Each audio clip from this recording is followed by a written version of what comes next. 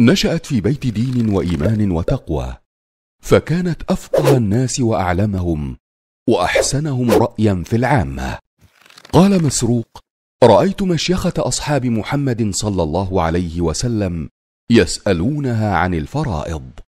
إنها الصديقة بنت الصديق حبيبة النبي صلى الله عليه وسلم عائشة بنت أبي بكر التيمية القرشية وأمها أم رومان. قالت رضي الله عنها لم أعقل أبوي إلا وهما يدينان الدين.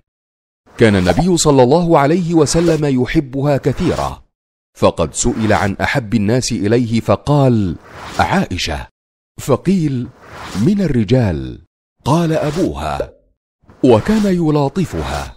فقد سابقها مرة فسبقته ثم سابقها مرة أخرى فسبقها فضحك وقال هذه بتلك.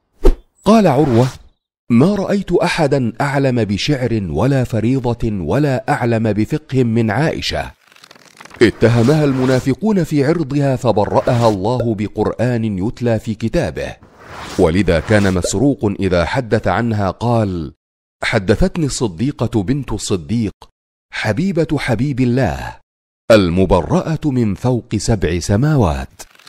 وعن هشام عن عروة عن عائشة رضي الله عنها قالت إن كان رسول الله صلى الله عليه وسلم لا يتعذر في مرضه أين أنا اليوم؟